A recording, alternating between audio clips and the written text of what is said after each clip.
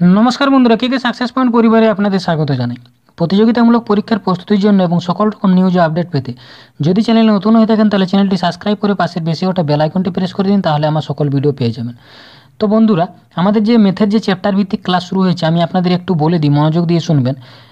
Time ডিস্টেন্সের আমাদের chapter complete হয়ে mock টেস্টও হয়ে গেছে এবং সময় কার্যের চ্যাপ্টার কমপ্লিট হয়ে আমাদের মক টেস্টও কমপ্লিট হয়ে গেছে। এরপরে আমাদের শুরু হয়েছে পার্সেন্টেজ পার্সেন্টেজের আমাদের অলরেডি পাঁচটা ভিডিও আপলোড হয়ে গেছে। একেবারে বেসিক থেকে শুরু করা আছে, ধীরে ধীরে লেভেলটা বাড়ছে। তাই আমি আপনাদের আজকে আপনি, আপনাদের সামনে ষষ্ঠ পার্ট মানে পার্ট সিক্স নিয়ে এসেছি।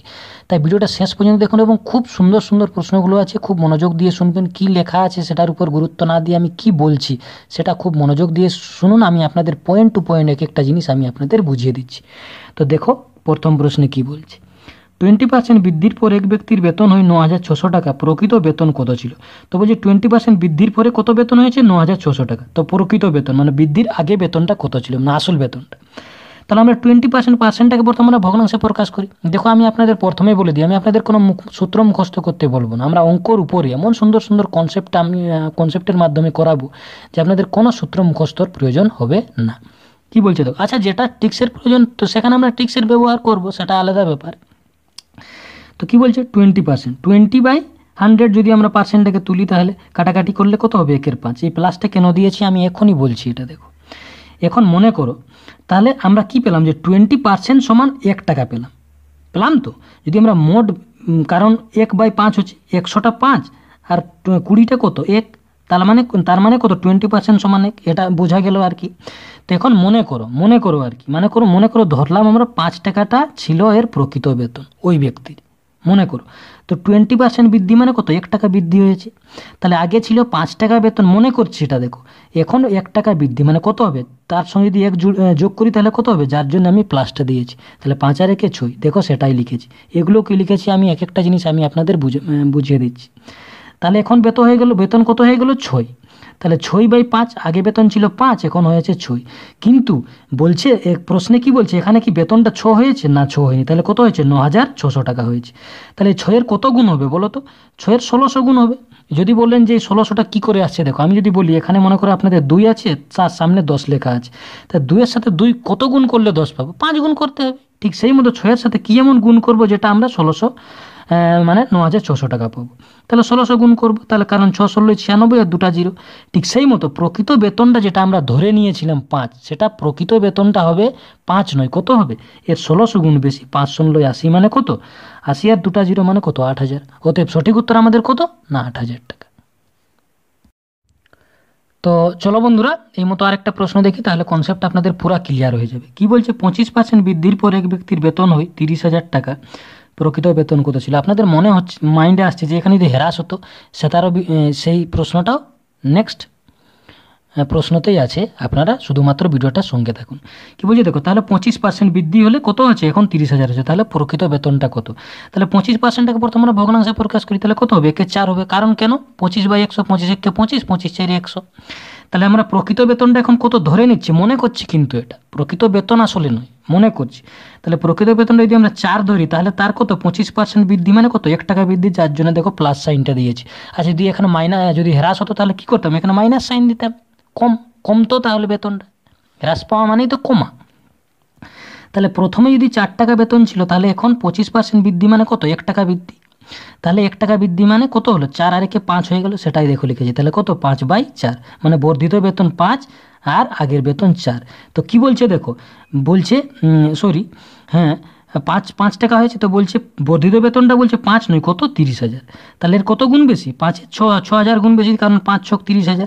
ঠিক সেই মতো, আসল যে বেতনটা, আগের যে প্রকৃত বেতনটা, চার নয়, কত তাহলে? এর ছ হাজার গুণ বেশি। তাহলে ছ চাইরে কত? চব্বিশ হাজার টাকা। অতএব সঠিক উত্তর আমাদের কত? চব্বিশ হাজার। তো চলো বন্ধুরা, পরের প্রশ্নে যাওয়া যাক। দেখো, একটু টাইপটা চেঞ্জ এখন। কি বলছে, দশ পার্সেন্ট হ্রাসের পরে তখন বৃদ্ধি ছিল, এরপর হ্রাস। যদি কমে তাহলে কী হবে দেখো? তো বলছে, দশ পার্সেন্ট হ্রাসের পর একটি গাড়ির মূল্য একাশি হাজার টাকা, গাড়িটির প্রকৃত মূল্য কত? তো বলছে, দশ পার্সেন্ট আমি কী বলেছি? প্রথমে এটাকে ভগ্নাংশে প্রকাশ করতে হবে। তাহলে দশ পার্সেন্টটা যদি তুলে দিই, তাহলে কত হবে? দশ হবে, দশ বাই একশো, তাহলে দশ একে দশ, আর দশ দশ একশো মানে কত? একের দশ। এখন দেখো মাইনাস দিয়েছে। আমি বলেছি যে বৃদ্ধি পেলে প্লাস আর হ্রাস পেলে মাইনাস কারণ কমবে মাইনাস হ্রাস হলে তো কমবেই। তো কি বলছে দেখো, যদি আমরা প্রকৃত বেতনটাকে দিয়ে আমরা দশ ধরে নিই, প্রকৃত বেতন নয় সরি এখানে গাড়ির মূল্য বলেছে, গাড়ির মূল্যটাকে যদি আমরা প্রকৃতটাকে যদি আমরা দশ ধরি, তার মানে কত, দশ টাকা যদি ধরি, তাহলে কি বলছে, তার দশ পার্সেন্ট এখন কি হচ্ছে, হ্রাস পাচ্ছে, তো দশ পার্সেন্ট সমান কত পেয়েছি, এক টাকা পেয়েছি, যার জন্য দেখো মাইনাসটা দেওয়া হয়, তাহলে যদি দশ টাকা যদি গাড়ির প্রকৃত মূল্যটা ধরি, তাহলে এক টাকা হ্রাস মানে কত হবে, এখন ন টাকা হবে অবশ্যই দেখো সেটাই লিখেছি। তাহলে কত? ন বাই দশ। প্রকৃত মূল্য দশ, আর হ্রাস পেয়ে কত হয়েছে? এক টাকা হ্রাস মানে ন কিন্তু প্রশ্নে কি ন টাকা বলা আছে? না, বলা নেই। তাহলে কত আছে? একাশি হাজার বলা আছে। তাহলে নয়ের কত গুণ বেশি? না ন হাজার গুণ বেশি, কারণ ন নয় একাশি, তবে একাশি হাজার হয়ে যাবে। তাহলে নয় গুণিত নয় সমান একাশি, আর দেখো তিনটা জিরো দিয়ে দিলে হয়ে যাচ্ছে একাশি হাজার। তাহলে এখন যেটা হ্রাসের পর মূল্য কত হয়েছে? একাশি হাজার। কিন্তু বলছে আমরা প্রকৃত প্রশ্ন করেছি যে গাড়িটির প্রকৃত মূল্য কত? তাহলে প্রকৃত মূল্য আমরা কত ধরেছিলাম? দশ ধরেছিলাম। তাহলে সেই দশটা না হয়ে কত হবে? সেটাও তার মানে কত হবে না? ন হাজার গুণ বেশি ন দশে নব্বই হাজার। অতএব সঠিক উত্তর আমাদের কত হবে? নব্বই হাজার টাকা। তো চলো বন্ধুরা, পরের প্রশ্নে যাওয়া যাক। কী বলছে দেখো? পনেরো পার্সেন্ট হ্রাসের পর একটি গাড়ির মূল্য হয় পঞ্চাশ হাজার টাকা গাড়িটির প্রকৃত মূল্য কত? তাহলে প্রথম পনেরো পার্সেন্টটাকে আমরা কী করব? ভগ্নাংশে প্রকাশ করব। তাহলে কত হবে? পনেরো বাই একশো হবে। পাঁচ তিনে পনেরো, পাঁচ কুড়ি একশো। তাহলে কত পেলাম? তিন বাই কুড়ি।